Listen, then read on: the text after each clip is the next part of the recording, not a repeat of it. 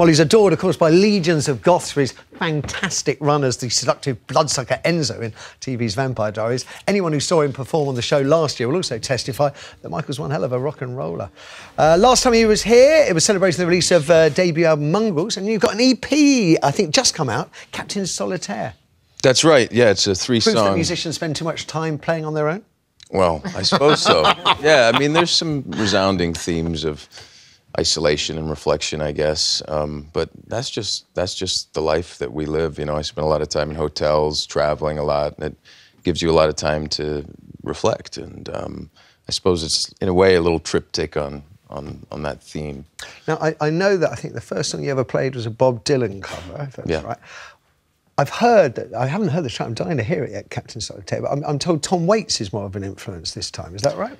Tom Waits has been my hero for many, many years. He's just such a groundbreaking artist. And what I love about him is his balance of the art, but with theatricality. Oh, yeah, I you know, he puts on the show. You know, it's Tom Waits, but to the nth degree. And, you know, I'm not interested in just being a hard on sleeve singer songwriter bleeding his diaries to the world, you know.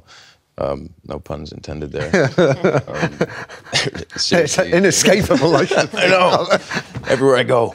Um, but yeah, I, I, I'm, I'm kind of interested with this new step in with Captain Solitaire and the new stuff and embracing that theatricality more and telling we other should- people's stories. We should have a little listen then. Uh, here is a taster, Uncomfortably Numb, from that new EP.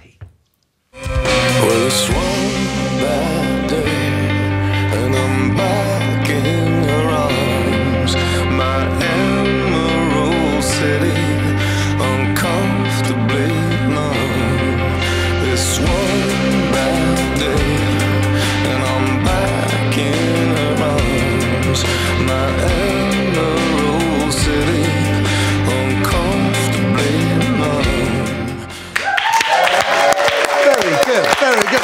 the, uh, the twist of the Pink Floyd, Comfortably Numb. isn't? Yeah. well, that's actually from Mongrels. So uh, Captain Solitaire is, is, is, is a different. Uh, that's not on that one. Right, because we haven't yet got any, I don't think we've got any videos to show yet. It's coming out soon, and Soon. we didn't want to, you know, put it out beforehand. So, um, yeah, it's uh, the uncomfortably numb Pink Floyd thing. You know, uncomfortably numb. Some uh, chance to see you live, I believe. You're telling me there's a gig on Friday, which I'm not around for in London, which I'm gutted about. Anywhere else you're going to be going?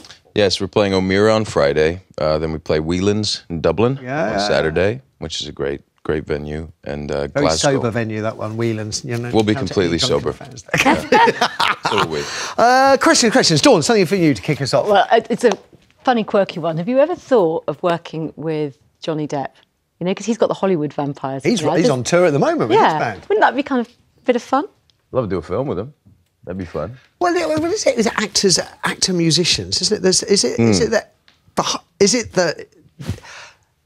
What, what is the appeal of going out on a road, on the road, on a tour bus with sweaty blokes, play, eating by and large rubbish food, from what my experience has been uh, travelling with bands, when you can be a cosseted actor sitting around a lovely green room having people feeding you caviar all day long? I just don't understand it. Well, you are very misinformed about the life of actors.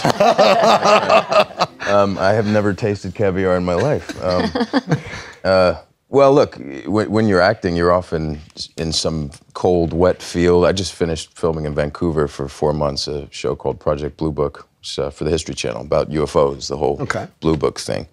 And uh, we were slumming it out there, below sea level a lot of the time, freezing, you know. Being in the sweaty van was actually much more uh, it's actually preferable. And, I, and I'm right in thinking the songs for from the EP uh, were Hmm. written while you were filming with our Sean Bean doing a, a crime drama called Oath. Is that right? The Oath, yeah, which I'm actually going back to film in Puerto Rico uh, In Puerto a Rico? week, a week or two, yeah, which is where we f- we shot the first uh, season, and we were actually evacuated by by uh, by them uh, because of the hurricanes.